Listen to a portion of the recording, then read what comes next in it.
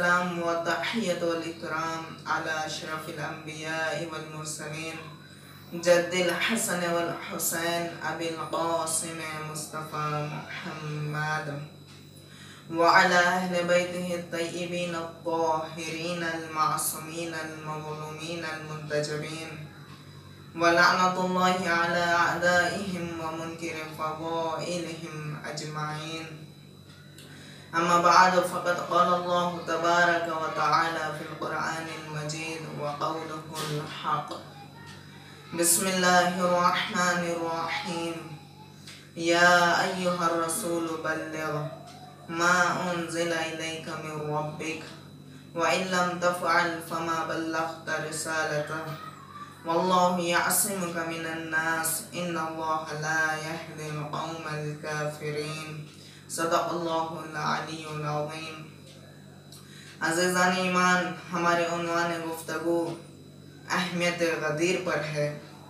यानी गदीर की क्या अहमियत है? बाज़ हजरात ऐसे हैं जो अहल तशियों पर एतराज़ात करते हैं कि ये शिया ऐसे हैं जो दीगर ईदों के बाद नस्बत गदीर को ज़्यादा अहमियत देते हैं। सवाल ये है कि आया गदीर को अहमियत देना शियों का खुद साख्ता है या बज़ात खुद खुदा मुताल ने गदीर को अहमियत दी है।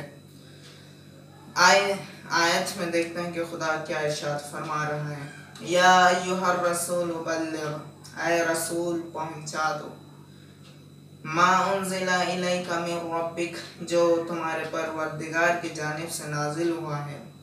व लम तफ़अल अगर तुमने ऐसा नहीं किया, अगर तुमने नहीं पहुँचाया अगर अंजाम नहीं दिया, वमा बल्लख्त रिसालता। गोया तुमने कार्य रिसालत को अंजाम नहीं दिया, गोया तुमने कार्य रिसालत को अधूरा छोड़ दिया, गोया तुमने कार्य रिसालत को नाकस कर दिया। वल्लाहु यासमुका मिनन नास, और खुदावंद मुतआल तुम्हें लोगों के शर से महफूज रखेगा। इन अल्लाह ला कौमल काफिरीन। और खुदावंद मुतआल काफिरीन को, काफिरों को कभी हिदायत नहीं करता है। देखें, रसूल खुदा इस आयत के मुतालिक खुतबा खुतबा गदीर में इशाद फरमाते हैं कि जब्राइल मुझे तीन मरतबा ताकीद किए हैं। जब्राइल ने तीन मरतबा इसरार किया है कि इस पैगाम को पहुँचाया जाए।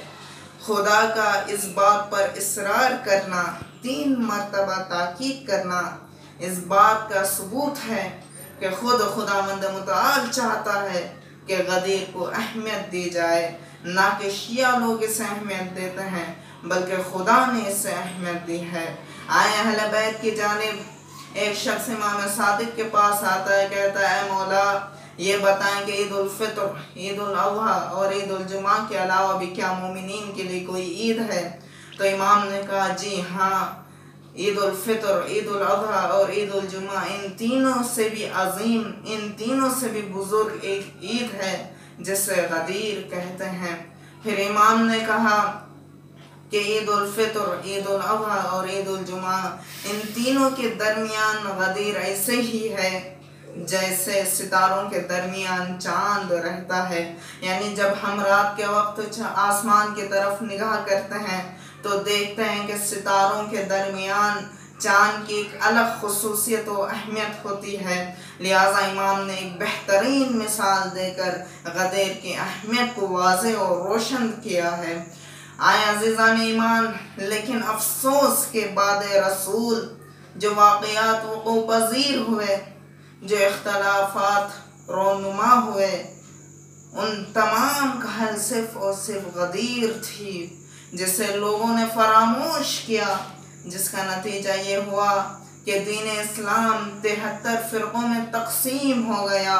सारी दुनिया तकालीफ में मुबतला है मसाइब में गिरफ़्तार है और मुश्किल से दो चार है।